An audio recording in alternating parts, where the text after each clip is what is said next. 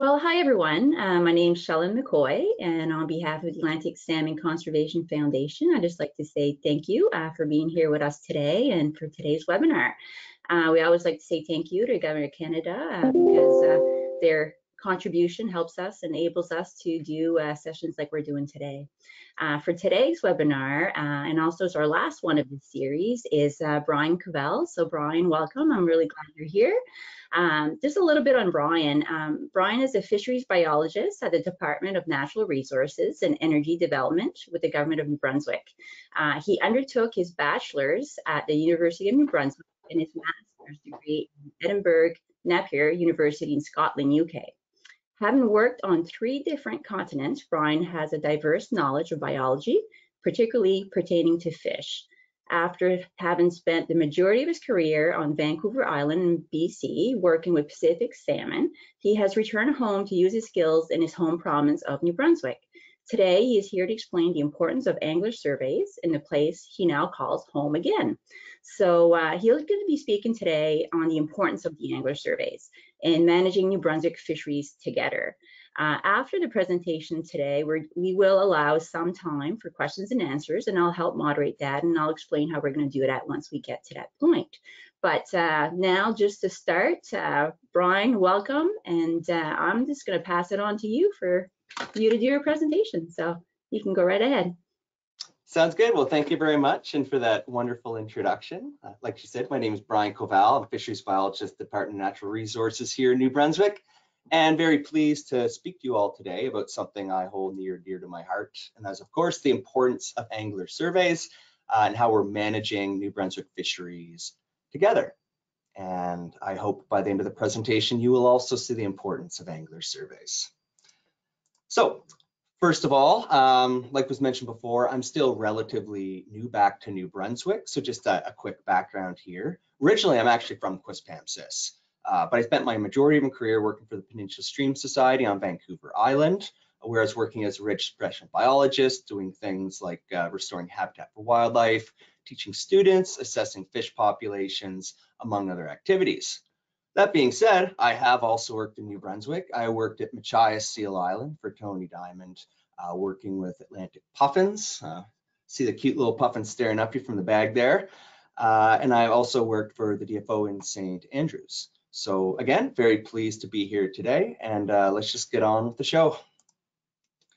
So just a brief agenda here. Um, got some topics to cover. Going to start with the brief history of recreational fishing, followed by some of the unnatural pressures of being a fish, possibly some you haven't thought of before, um, assessment techniques that we use as biologists here in the province.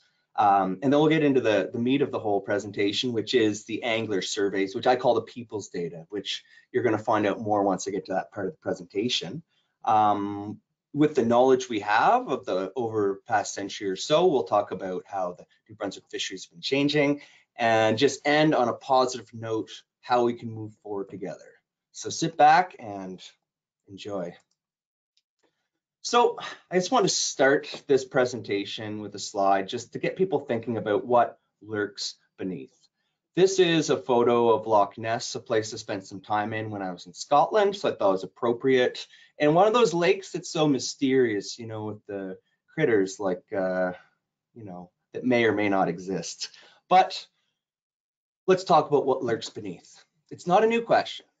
Sometimes we see things jump or wash up, giving us a glimpse into the world beneath. But far back in our history, uh, we've been searching, well, for food, for entertainment, and to simply know more.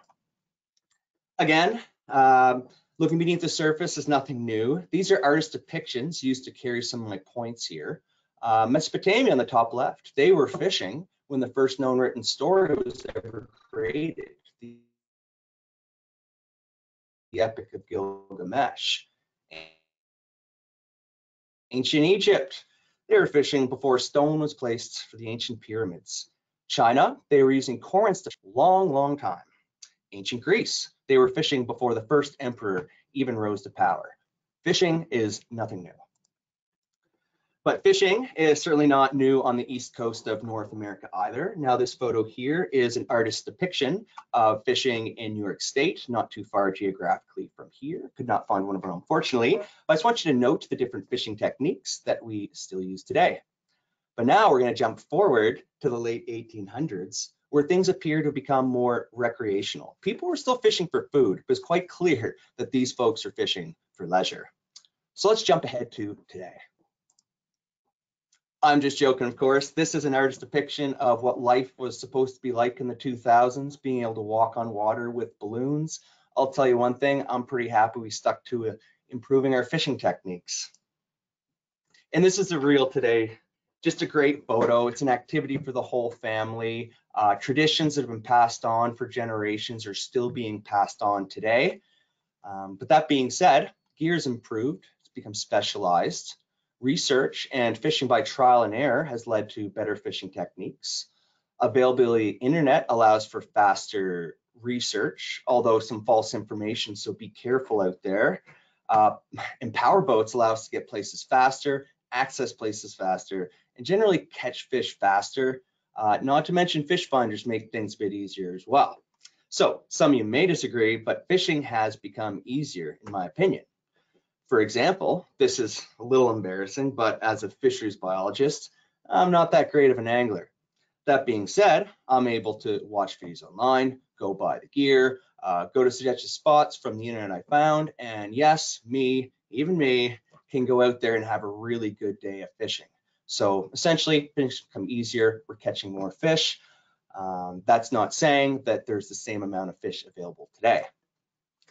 So um, now there's lots of people, more people around the world, and there's more people out fishing with uh, the ability to catch lots of fish really quick. So it's becoming increasingly more important that we monitor our populations to ensure they're there for our future generations. As well, uh, some people are catching a ton of fish really quick illegally. This is a photo from the States, but infractions remain similar here. This article is great because it's a testament what can happen when you poach. We need more cases like this to sort of deter people and hold them accountable for their actions to make it so it's less likely they'll try that sort of thing again. So if you do encounter poaching or suspicion of poaching, please contact one of the following so you can help us catch some of these folks. Throughout this presentation, I will have some information and contact information for different places. Um, I will be going through it pretty quickly, so if you do uh, want any of it after the presentation, I'm happy to do that as well. So the pressures aren't restricted to poaching and ease of recreational fishing. Uh, there's also commercial fishing where we can catch a ton of fish really fast, including the wrong fish uh, during bycatch. The more fish caught at a time, generally the more fish can suffer it's important to monitor this type of fishing as it is a ton of fish being caught quickly. So thankfully to the DFO who uh, for their efforts for monitoring in this sector. So we affect fish by more ways than by fishing for them. And I'll show you. Um, there's also, um, we call this uh, construction, um, removal of shoreline habitat, riparian destruction in a nutshell. This greatly degrades the shoreline habitat as well as the water bodies, increases runoff, uh, warms water as it moves across the surface, removes shade, and removes the vegetation that you normally see along the banks, which drops material into the water, which invertebrates eat. It also drops invertebrates into the water, or they fall in, which the small fish eat and pass it up the food chain. So it's an incredibly important resource that we have to make sure we maintain. And there's also hard shoreline structures. This is something that people don't always think about, but essentially these hard structures do protect our infrastructure. What happens is when the waves hit the walls, the energy has to go somewhere, so it ends up eroding the beach. And that's unfortunate because fish like Pacific herring and sand lance, which I worked with out in BC, actually use the beach in order to spawn. So these structures are actually literally removing uh, spawning material. Um, to mitigate this, options are um, sloping the bank instead and putting in vegetation, which looks better and helps dissipate some of that power and is more naturalized. There's also things like oil spills and other incidents that can wipe out fish in a creek. This is Mackay Creek in North Van, and essentially it can just be very bad for fish populations. If you do find an oil spill out there from a car, oil, heating tank, or otherwise, you can call ELG at the numbers listed here. I then stay on my phone because when I'm out and about and I see something, it makes it so I can report more quickly, so that action be taken more quickly. And just imagine if all the people out fishing were also looking for these things, uh, we could catch a lot of these incidents a, a lot quicker. So you may think that I've gotten off topic a bit, but what I really want you to consider is the fact that there's many dangers for fish out there uh, that are directly related to us. And it becomes our responsibility to manage these fish as these activities are not likely to stop, although we may reduce them or help mitigate them.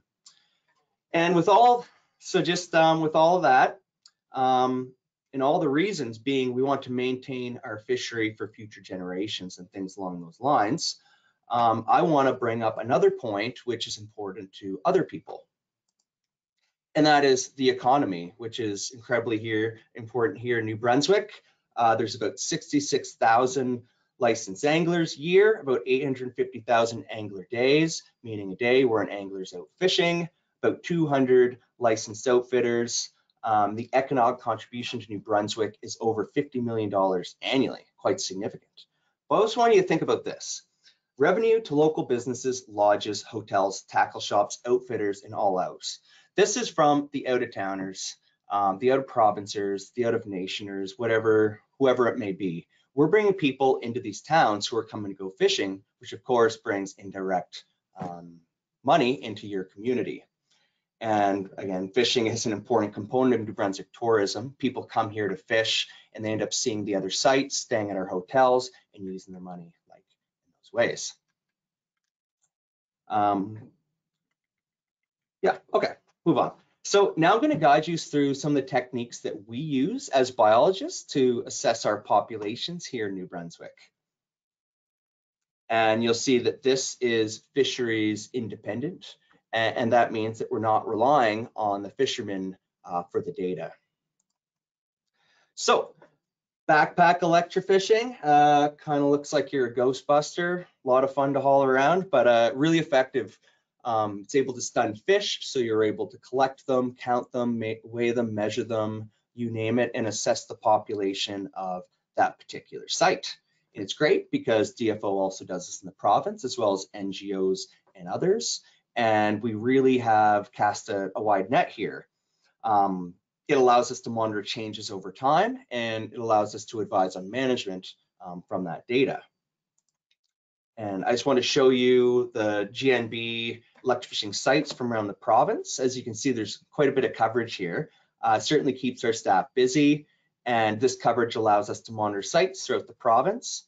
However, this mostly pertains to smaller fish, which includes juvenile salmon. Very important to all of us uh, and just some pictures of some electrofishing boats because uh, sometimes you can't uh, walk out into the middle of a lake with a backpack. So these boats come in quite handy. The DFO's boat on the top left and CRI's on the, the bottom left there. And on the right, you'll see actually our team. That's Catherine, my boss, and a couple of technicians looking at fish and uh, assessing um, population at that particular area. So uh, there's other more passive ways that we look for fish, and that's by netting. Um, there's minnow traps, seine nets, and these are pike nets. I put these orange balls on here to represent the buoys to give you an idea of how these nets work. Uh, the wings are out, and so that guides the fish into the trap here where you will collect them as biologists like you see in the picture here. And this can be quite hard work especially when you get something like 700 white perch in one of these things. Um, I do want to note these traps are great for catching brood stock, which we use for our hatchery program, um, which we use to stock around the province. Uh, there's also barriers and fences, which are great for counting migrating fish, like our wonderful Atlantic salmon. Essentially, they all have to get to the fence and they're collected and moved over the fence. So we have an idea of exactly how many fish and when are moving through that system. Um, go to the next slide. This is just an example. Any data I show today is very high level. We're not going to go into any specific detail, but just give you an idea of what we can use it for. And this is at the Dungarvon barrier. and it's total salmon per year. And because this goes back to the 80s, it allows us to look at different trends. In particular, um, if we see any issues in the current day, we could look back in time and uh, maybe make some sense out of it. But that's that for now. So really what I want you to do is think about the sheer scale of management in New Brunswick of our fisheries. There's about 1,400 named lakes and ponds and 1,000 that are unnamed. Mystery. 3,800 named rivers, brooks, streams, and creeks, having a total length of approximately 60,000 kilometers.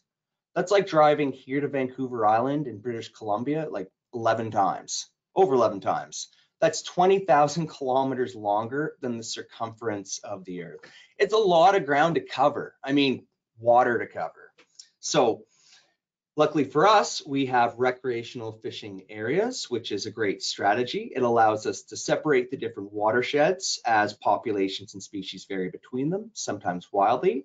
It allows us to make regulations specific to certain situations of those RFAs. And this is a map I wanted to show you of all the water bodies from our GIS.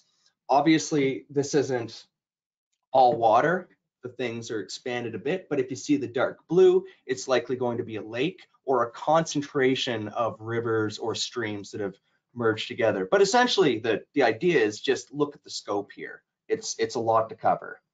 Oh, sorry about that. There we go. Um, so essentially, we can't be everywhere at once. Our resources will only get us so far. Thankfully, there are ways to complement our data where we can work with the community and build a better data set together. The data can only go as far as we make it go together, and we can only make it as relevant as possible when we work together. This is why I call it the people's data.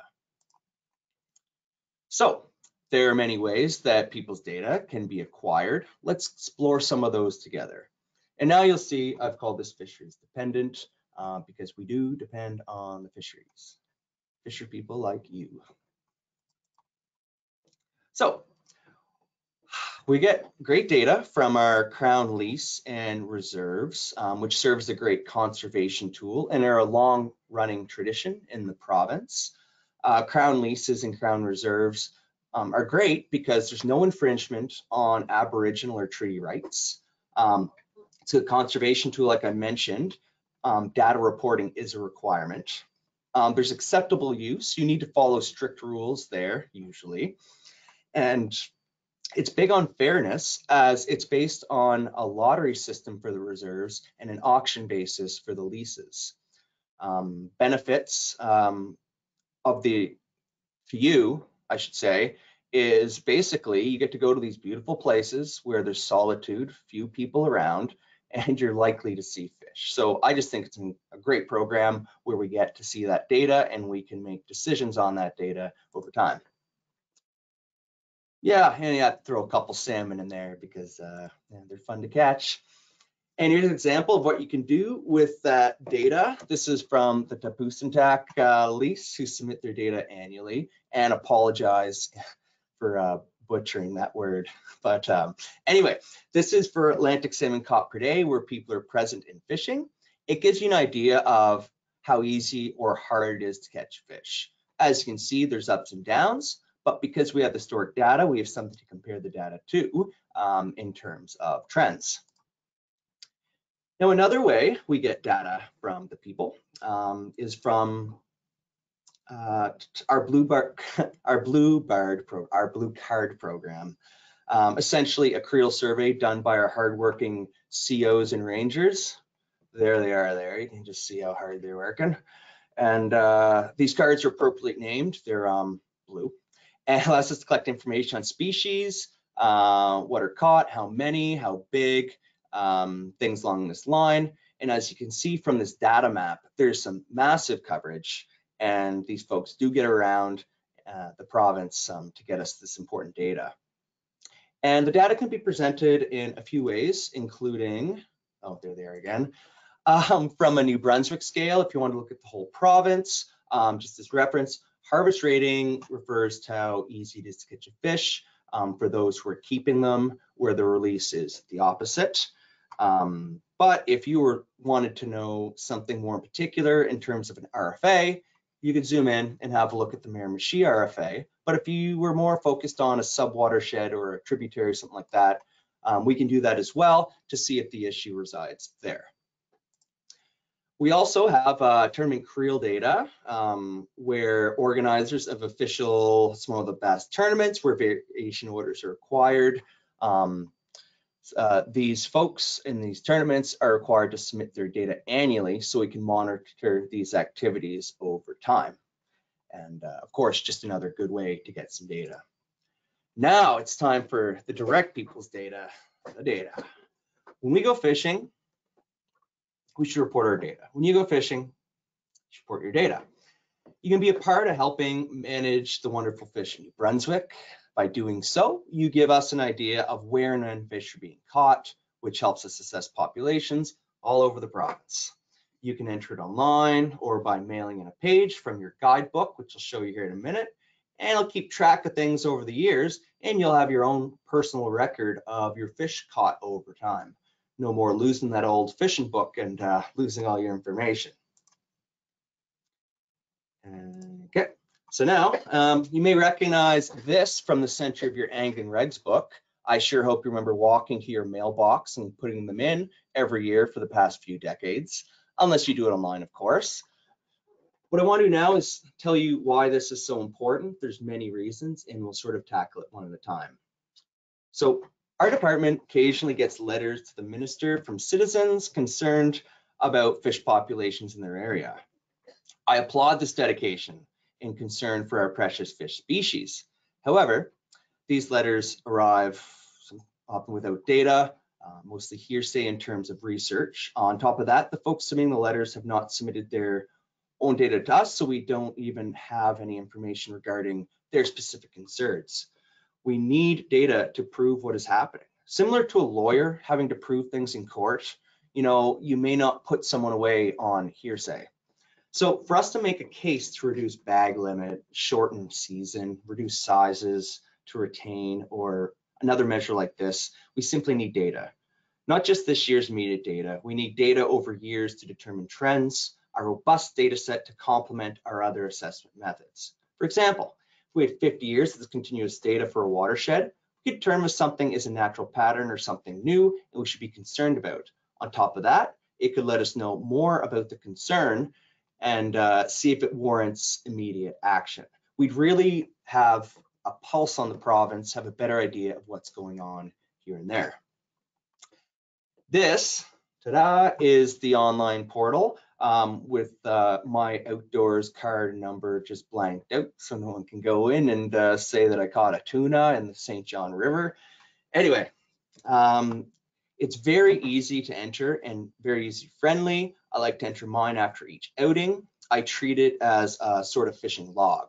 As you can see, I do not get out as much as I like to, but I'm able to keep track of all my trips, remember where and when I caught a fish, just in case I want to go back and help someone else catch a similar fish in that area. You'll also see that there is nowhere to put in your exact uh, location, AKA your favorite fishing spot, your honey hole. That is because we do not want to know where that spot is. We are looking for the fishing data for that general area, which is also more reasonable in terms of setting regulations. We're not going to show up at your honey hole, for example, and make up new special regulation just for you there in that spot. It's far too much work, for example. So, but seriously, we are more interested in overall populations, which are likely moving between areas. So it is quite important to us. And as you can see, uh, again, just very easy to enter this information and simply so important to us. Um, I often hear people saying they don't think we do anything with the data. Then I find out they have never submitted their data. How are we meant to do something with data if it is not given in the first place? I've also heard people say, why start now? I've also heard dieters say the same thing. And the answer is the same for both. It's never too late. Start now and make it routine, make it happen. If you shot a deer or moose, would you not want to report it? So just looking at uh, how many of these surveys we get a year. It's only about 3% of anglers who submit their data and not necessarily for all their trips. Why is this so low? Don't know. We've tried giving away prizes and other incentives, but with no real increase in submissions. We also worry about getting garbage data when offering prizes as people will simply um, want to get one of those entries. Essentially, we need people to understand why the data is used, make them understand the importance, and then they themselves will decide to give accurate data as they feel it is important. So what would make people share? They are overly keen to share their fish on Facebook, but not with an organization whose goal it is to maintain the healthy fishery into the future. It takes the same amount of time and you'll be taking a stake in this incredibly important resource, not just bragging rights on the internet, because you know, we all do that. So um, I do a bit of a plug just before we move on quickly here. Um, when you are out fishing and you find a fin clipped fish, uh, please report it as well. We clip adipose and pelvic fins at the hatchery on a rotation so we know the age of the landlocked salmon or brook trout that we stocked. Reports of these numbers help our savvy stocking biologists make important decisions about where and when to stock. So again, please share that information when you're out and about. So now we're going to skip back to the late 1800s here, or er, uh, early 1900s. So what was the fishery like back then? Again, just another old recreational fishing photo. Saw the Lady Beaverbrook. Anyway, so in the early 1900s, First Nations, other residents of the province fished for food. New Englanders also traveled here by train to angle for fish. The two preferred species were, of course, Atlantic salmon and brook trout. And since very few people fished and it was difficult to access deep woods areas, fishing was good. In fact, you know what? Newspapers in London, England around this time were giving fishing reports of Canadian angling. By 1990, the fishery was more diverse. There's a greater interest in species such as landlocked salmon and smallmouth bass. Smallmouth bass, which were moved here in late 1800s from down south, um, which essentially have become populations. Um, the number of anglers uh, had peaked back then and catching was not as good as it used to be. Um, but of course, um, fishing techniques had improved. Uh, road access had increased though into these deep woods area. Um, and invasive species being grown in numbers and spread all over the place. Today, we have a fishery that has changed significantly over the past 120 years or so. Um, the interest is a list of fish species um, diverse and has increased. Um, essentially, there's just a lot more different types of fish, particularly ones that people are fishing for. And if you skip ahead to the future, no doubt that recreational fishery will be even more diverse, especially if we um, do not collectively manage the resource and its use. So we're just suggesting that we manage the direction of the change and the speed of the change, and we essentially have that collective responsibility. Now, um, just uh, to touch base on some of those invasive species mentioning, the, the in introduced species. Um, they have a series of negative effects on ecosystems. Uh, they're a threat to native species and biodiversity, altering habitat, competing for food and space, like you see here from our poor Atlantic salmon and brook trout. They predate, uh, particularly on smaller fish, and they can spread new diseases and as well as provide genetic effects if hybridization is possible. Really what it comes down to is preventative action is the way to go. Make sure they don't get there in the first place because once they do, um, you've seen what happens with smallmouth bass populations, for example. Here's just a list of some other introduced species you can look out for. My big plug here is just don't move them. And if you know any rumors or you have photo evidence or anything along the lines of that of people moving these fish, um, always interested here because we need to build a case for these things if we're going to prevent it happening into the future. And if you do find these species, feel free to report one of these wonderful organizations. I tend to just pick one to make it so that I'm always reporting to the same one, but it's good to have saved in your phone. So if you are out in a new spot fishing and you do notice one of these things, we do want to hear about it. Just go back uh, just two slides, I just want to point out the zebra mussels. Definitely keep an eye out for those ones. Now, just to go back to where we started, what lurks beneath. We know a lot more now, but there's certainly a lot more to know. There's changes happening all the time over time. So essentially, again, what we're looking for is the pulse of the province to know where and when things are happening so we can have a nice, healthy fishery into the future. And what can you do to help again? Be a good steward of this wonderful province we're in. You can do things like report your catch, get others to report their catch, follow the regulations in the guidebook, very important. They're there for a reason. Uh, report clipped fish, uh, report any poaching, report invasive species, as well as reporting those pollution events. If we're out there, um, we might as well help if we had the opportunity. Finally, just a quick plug of uh, Fish New Brunswick Day. Maybe this presentation got you all amped up to go fishing once we can get back out there. Well, um, Fish New Brunswick Day is great. You don't need a license. You can get someone who is new to fishing to see if they like it, or just go out and enjoy it with your family. Uh, two opportunities during February and June. Hope to see you out there. Now with that, uh, I'd like to thank uh, all the employees at GNB and DNR for your commitment to the betterment of our province. Special thanks to my branch, Fish and Wildlife, for your support and inspiration. And finally, special thanks to you for your interest. Together, we can build a better New Brunswick. And I hope after today, you have a better understanding of why these angler surveys are just so important. So thanks for tuning in. And uh, it was great speaking with you today. Thanks, Brian. Thanks for taking the opportunity to come and share that information uh, today with everybody that's online and those that hopefully will come later uh, to watch it on our YouTube because it is recorded. Um, but before we end today, we always like to give the opportunity for questions and answers. Um, for those that have not joined our webinar series before, the way we go about that is that you can raise your hand uh, and then be unmuted and ask your question yourself. Uh, for those that uh, cannot do it that way or are a little bit too shy to speak out loud, you can always type it all in and I will uh, be my pleasure to read out loud for you for Brian to answer. So um, we'll give you a, a minute here to uh, to see if there's any questions. Don't be shy. You heard me stumble over all those words. No hmm. pressure. Let's see.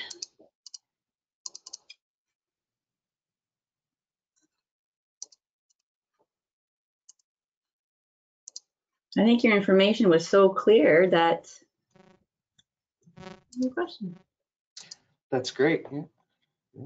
Uh, And if something happens, someone thinks of a question after the fact, when we're over, Brian has indicated that he is open for anybody that wants to reach out and email, uh, and uh, he'll he'd be happy to to answer uh, to the best uh, abilities. So Yeah, always happy to help. Yeah, I'll keep watching here, but uh, to see if someone pops with a question. Um, but this is actually our, our last webinar of the 2022-2023 series. Had 10 webinar sessions, so thank you, Brian. You're closing our closing up the session here today, and uh, it was wonderful. Um, the next series that we're going to do is going to start uh, in September of 2023. We always go from September to March. Uh, so what I like to mention, and also we're going to try to do in our communications too, is that we always look for key topics that people really want more information on. So if anybody uh, have any ideas or something you really want to know more of, uh, please let us know, and uh, we'll find the right person to speak on that subject and that topic and make it available to you here in our next series. So I just wanted to put that suggestion there up out there. Um, but apart from that, uh, I just want to say another warm uh, thank you to Brian, uh, to all the presenters that have presented here uh, in the last little bit, and for all those that join us today uh, to come hear the information. Uh, so thank you to everybody, and I wish everybody a great day. Thank you for the opportunity. See you all later. Yeah, Brian.